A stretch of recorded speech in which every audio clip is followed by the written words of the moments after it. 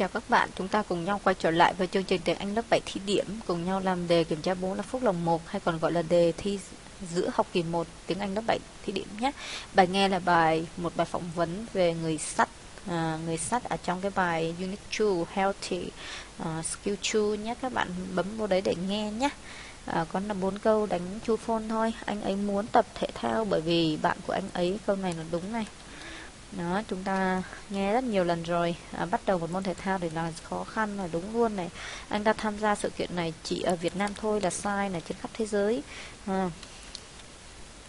sự kiện này sử dụng hơn 6.000 calo là đúng này. Đó. Chúng ta nghe nhá đây đáp án thôi.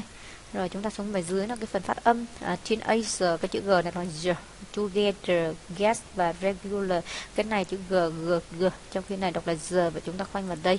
Game arrange, k k, chúng ta sẽ khoanh vào câu b, đọc là r. Trong khi mà kia là a, horrible là chữ h, hundred là chữ h, hold là chữ h luôn. Trong khi cái từ này bị cấm chữ h, đọc là r. Rồi much the rock, future, buffalo. Các bạn sẽ khoanh vào từ future cho tôi nhé. Đọc là yêu mấy kia đọc là r rồi à, uh, serious symptom sugar là chữ sờ rất là dài chữ sờ dài đọc dài mỏ ra mấy chữ kia sờ ngắn. Rồi chúng ta xuống đây làm bài pháp. Chúng tôi đã biết nhau trong 2 năm rồi. Đây là thì hiện tại tiếp à, thiệt hại hoàn thành. Các bạn nhìn thấy cấu trúc have has cộng động từ một ba chưa? Đây là hiện tại hoàn thành mà đây một khoảng thời gian. Cho nên ở đây các bạn phải xài for. Câu số 2, anh ấy à, tái chế à, rất nhiều sách cũ trong 5 năm for 5 years. Đây là dấu hiệu của thì hiện tại thì hoàn thành. Have has cộng đồng từ 13 cho nên đây chúng ta sẽ xài has recycle id này. À, recycle id đó. Câu số 3, để mà chuẩn bị cho năm mới thì tôi à, sơn lại nhà từ tháng trước giờ xin cộng một khoảng thời gian à, cộng một mốc thời gian chúng ta nhớ xài hiện tại hoàn thành và ở đây chúng ta có hai câu C với D và I thì d với have cho nên chúng ta sẽ khoanh vào C nhá. Rồi có nhanh không các bạn? À, mình quen nhanh rồi bởi vì đang tiết kiệm thời gian, mình đang tranh thủ để làm cho các bạn thôi. À, mình không có nhiều thời gian nha. Các bạn thông cảm nha. Rồi câu số 4 nè. À, bọn họ đã à, bọn họ đã rửa những cái chai lọ mà đã qua sử dụng chai nhựa mà đã qua sử dụng với nước một vài lần ngày hôm qua và các bạn chú ý cái từ yesterday đây là dấu hiệu của thì quá khứ đơn à, diễn tả một hành động đã xảy ra trong quá khứ à, chủ ngữ cộng động từ cột 2 cho nên đây chúng ta xài câu a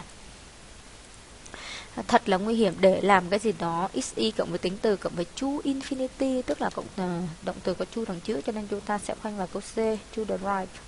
Câu số 6 đằng sau line là một cái động từ thêm in cho nên các bạn nhắm mắt nhắm mũi chọn talking luôn. Rồi xuống câu dưới chúng ta sẽ chia động từ ở trong ngoặc. À, đằng sau enjoy là động từ thêm in mà chúng ta mới nói xong. À, vậy ở đây các bạn sẽ chia là gì? À, riding. Câu số 2 tối hôm qua là dấu hiệu từ quá khứ đơn. Diễn tả một hành động đã xảy ra trong quá khứ cho nên ở đây chúng ta sẽ xài động từ cột 2 when go chuyển thành when nhé rồi câu số 3 sin 1993 là dấu hiệu của thể hiện tại hoàn thành. À, sin cộng một mốc thời gian dấu hiệu của thể hiện tại hoàn thành.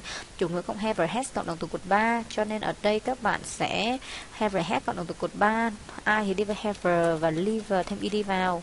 Rồi câu số 4 các bạn nhìn thấy từ usually dấu hiệu của hiện tại đơn. À, anh ta luôn luôn chụp rất nhiều hình đẹp à, hiện tại đơn chủ ngữ số nhiều động từ giữ nguyên chủ ngữ số ít động từ thêm s hoặc es từ thách nên server thôi rồi xuống đây chúng ta có từ for có từ sometime có từ play có từ swimming chúng ta điền vào. Nick thì có rất nhiều hobby. Anh ta chơi cờ ở trường. Sau giờ sau bữa ăn tối anh ta đi dạo. Go for a walk là đi dạo. Đi dạo thiếu từ for.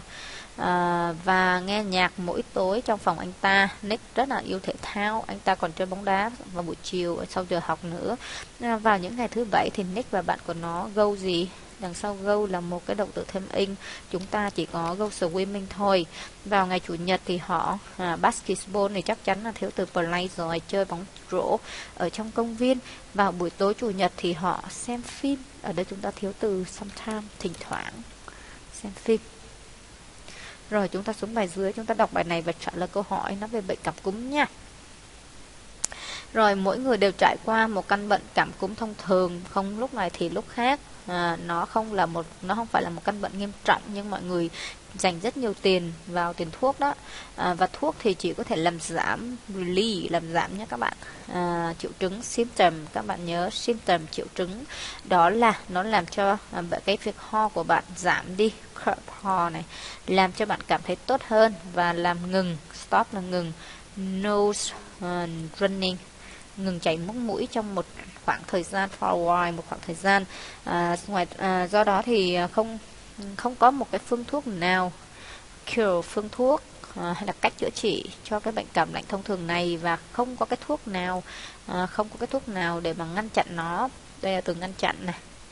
Mọi người còn nghĩ rằng uống nhiều nước nóng với đường nước chanh à, thì à, nó sẽ giúp cung cấp thêm vitamin C rồi có phải đây là một căn bệnh nghiêm trọng hay không? Cái này chắc chắn chúng ta sẽ nghĩ là nâu rồi. Ít. Mấy cái ghế này.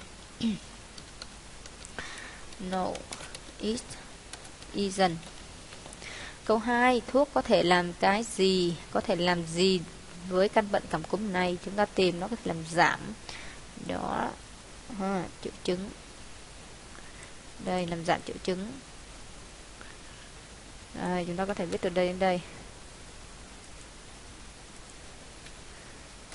Rồi it can make it can make you curve less make you feel better and stop your no strength for why tại sao nước nóng với đường và nước chanh thì hữu ích? Và useful là hữu ích bởi vì nó cung cấp vitamin C cho chúng ta này hỏi tại sao thì phải trả lời là bởi vì nha.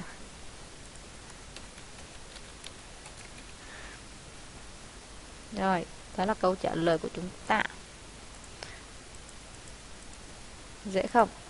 Xuống bài viết nè. Chúng ta viết lại câu sử dụng từ nó cho trong ngoặc đây. Anh ta bị ốm anh ta ở nhà chúng ta xài cái từ because. À, anh ta ở nhà bởi vì anh ta bị ốm chúng ta viết này. Có thể viết như này because he was sick. Vậy he stay at home.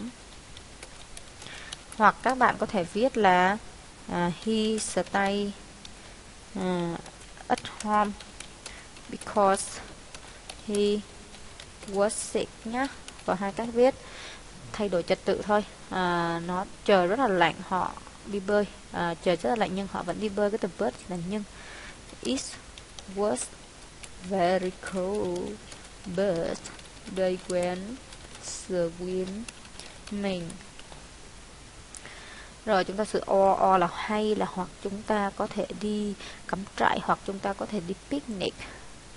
We can go camping or go for a walk. Rồi anh ta bị đau dạ dày bị đau bụng anh ta không rửa tay.